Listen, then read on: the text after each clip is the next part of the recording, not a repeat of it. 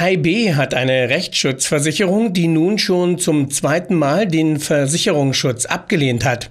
Erst war ihm vorgeworfen worden, an einer vorsätzlichen Körperverletzung beteiligt gewesen zu sein. Nachdem das Ermittlungsverfahren gegen ihn eingestellt worden ist, hat der Geschädigte unter anderem auch ihn auf Schadenersatz verklagt, sodass er sich gegen die Klage verteidigen muss. In beiden Fällen hat die Versicherung abgelehnt, die Kosten zu übernehmen. Wozu hat er denn eine Rechtsschutzversicherung? Die Rechtsschutzversicherung gehört schon durchaus immer noch zu den wichtigsten Versicherungen, die in jedem Haushalt vorhanden sein sollten, auch wenn es hier vielleicht ein bisschen äh, schwierig erscheinen mag. Sie sichert immerhin die wichtigsten Risiken, die so im alltäglichen Leben vorkommen, ab. Äh, Arbeitsrecht, Mietrecht, alle zivilrechtlichen Streitigkeiten. Aber sie sichert eben nicht alles ab. Alles kann man nicht über die Rechtsschutzversicherung versichern. Hat denn die Versicherung hier zu Recht abgelehnt, die Kosten zu übernehmen? Vermutlich ja, weil die Risiken, um die es hier geht, die gehören in der Regel zu dem Bereich, äh, der in der Rechtsschutzversicherung nicht darstellbar ist. Wieso nicht? Ja, die Rechtsschutzversicherung äh, sichert, wie schon gesagt, verschiedene Risiken, äh, viele Risiken aus dem alltäglichen Lebensbereich ab. Was sie nicht kann und was sie nicht will, ist äh, das vorsätzliche Verhalten des Versicherungsnehmers in diesen Versicherungsschutz einzubeziehen. Die Körperverletzung, um die es hier geht, die soll ja vorsätzlich begangen worden sein. Das ist hier sicherlich erstmal nur der Vorwurf.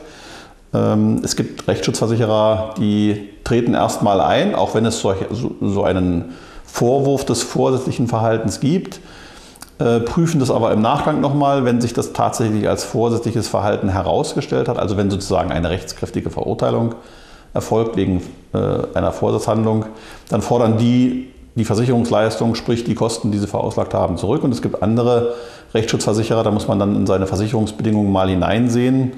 Äh, die decken äh, erst gar nicht vor, also selbst dann schon nicht, wenn, das, wenn der Vorwurf da ist, es soll vorsätzlich gehandelt worden sein.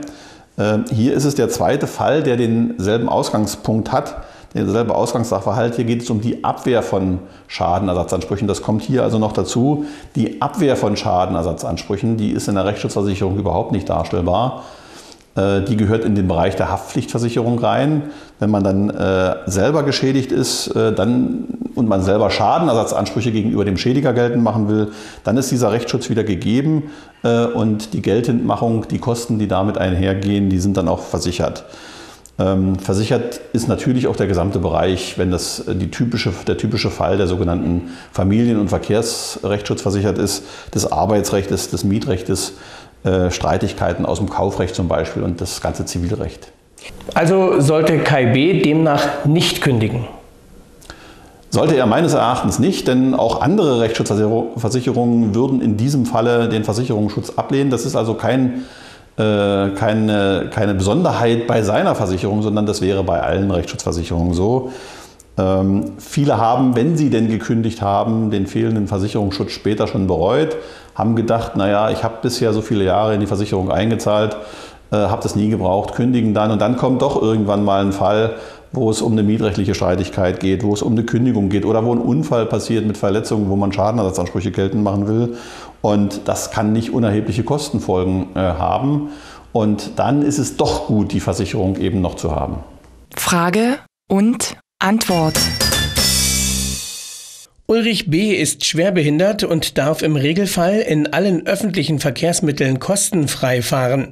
Die örtliche Verkehrsgesellschaft verlangt aber beim sogenannten Linientaxi einen Zuschlag in Höhe von 70 Cent. Ist das rechtens? Ja, es handelt sich hier um das sogenannte Anrufsammeltaxi. Bei dem Anrufsammeltaxi ist selbstverständlich die Beförderung, so wie das für Schwerbehinderte im Gesetz vorgesehen ist, kostenfrei. Äh, beim Anruf Sammeltaxi besteht allerdings die Besonderheit, dass der Ausstieg ja überall möglich ist. Äh, sozusagen der Transport bis vor die Haustür erfolgt. Und dafür gibt es eben einen Komfortzuschlag, das sind die 70 Cent. Und die sind eben äh, auch für den Schwerbehinderten nicht kostenfrei.